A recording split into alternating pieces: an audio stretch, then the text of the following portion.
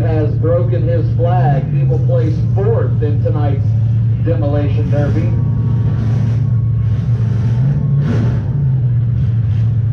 Car number 31 of Corey Smith, he is on the clock.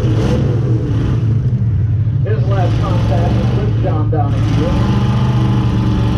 Michael Watson and J12 possibly having some transmission issues.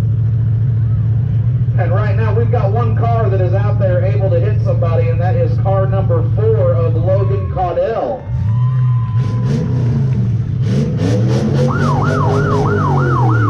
All right, that's it. We'll get uh, for second and third figured out. We know that our winner of tonight's contest is car number 31 of Corey Smith. Give him a big round of applause.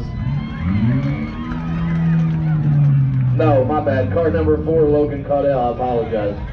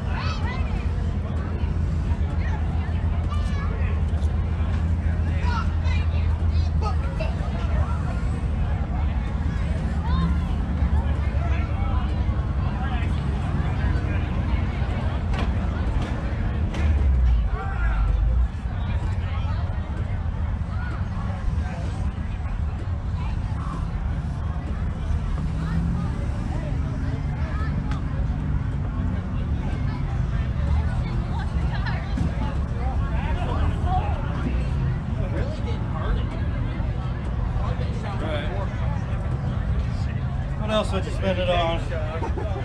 Good weed.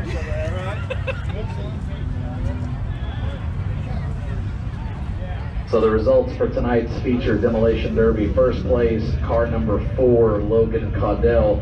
Second place, car number J12 of Michael Watson. Third place, car number 31, Corey Smith. And fourth place, car number D21 of John Donahue.